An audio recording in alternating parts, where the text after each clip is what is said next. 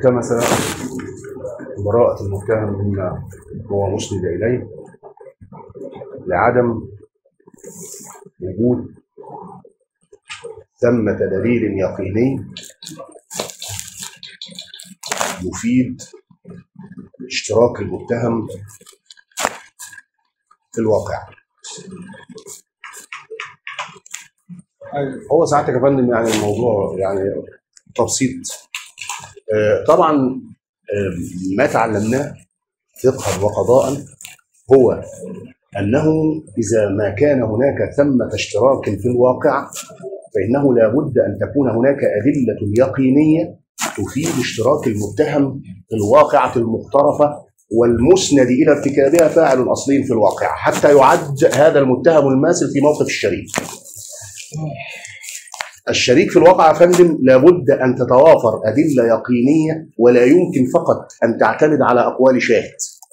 لأنها كالقصد الجنائي وكسبق الإصرار كما تعلمنا من أحكامكم المبجله بأنها من النوايا التي قد تكون لها أفعال يقينية خارجية تفيد هذا الاشتراك من عدمه، ان كانت هذه الأفعال موجودة فإنه هي التي يعول عليها إن أوتي بها في الأوراق أو إن لم يؤتى بها في الأوراق فلا يمكن التعويل على شهادة شاهد فيها. الأم سعادتك يا فندم هنا والمجني عليه. الأم والمجني عليه هما شاهدي الإثبات في الواقع. السيد مجري التحريات وكما تعلمنا أيضا وتعلمنا من أحكام القضاء الجليل أنه في قضايا النفس سواء كانت أدت إلى الوفاة أو أدت إلى الإصابة واحداث عاهة بشتى صورها مثلا فإنه تحريات المباحث فيها تكون إلى درجة من التصديق يصل ليقين المحكمة وإذا ما قرأها الدفاع أيضا يتيقن من صدقها. قالت تحريات المباحث بالنسبة للمتهم الثاني الماثل هذا بأنه لم تتوصل إلى أي دور له في الواقع وأسندت الواقعة إلى المتهم الأول وده فندم في صاد 20 من التحقيقات وصف 29 من المحضر هذا ثابت بدليل كما أورينا وهناك أيضا إحدى الجيران يا فندم نقدم قدم أصل إقرار بالشهادة صادر من إحدى السيدات جيران الواقعة والتي أفادت يا فندم. كما أفاد مجري التحريات بأنه كان عندهم في المنزل ثم ذهب إلى المشاجرة حينما علم بها للقيام بفض المشاجرة منه التالي. الأم يا فندم والابن والابن هو كما تعلمنا وفي جميع الشرائع القانونية والشرائع السماوية. قالت لا يؤخذ بشهادة الخصم والظنين وذي إحنة أي ذي العداوة.